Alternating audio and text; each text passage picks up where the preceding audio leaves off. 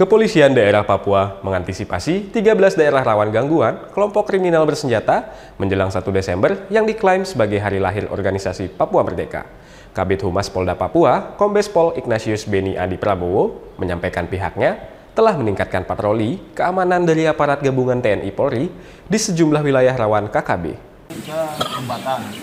Di sana. Satu jembatan yang minta tolong untuk pengamanan masing-masing. Kepolisian daerah Papua mengantisipasi daerah rawan kelompok kriminal bersenjata KKB menjelang 1 Desember yang diklaim sebagai hari lahirnya organisasi Papua Merdeka, OPM. Ke-13 daerah rawan sebagian besar berada di wilayah Papua Pegunungan, mulai dari Nduga, Pegunungan Bintang, Yahukimo, hingga Nabire.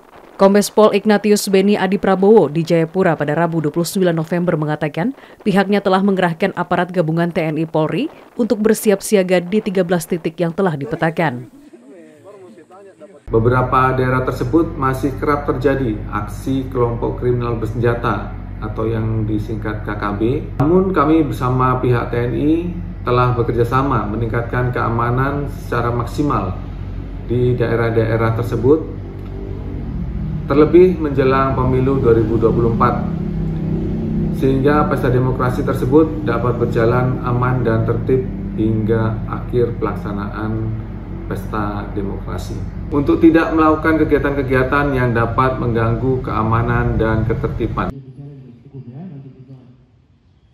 Tokoh masyarakat Jayapura, Nels Monim, turut mengajak masyarakat Papua untuk tidak merayakan selebrasi pada tanggal 1 Desember nanti untuk menjaga ketertiban wilayah sekitar.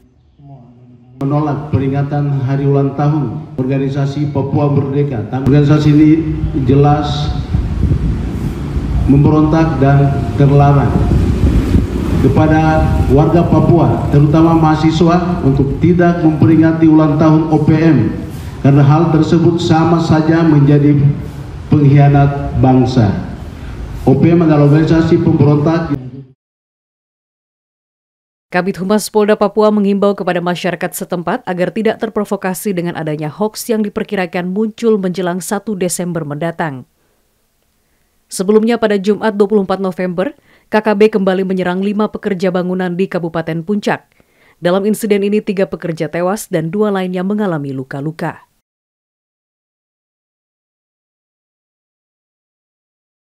Dari Jayapura, Papua, Laksama Hendra, Kantor Berita Antara, mewartakan.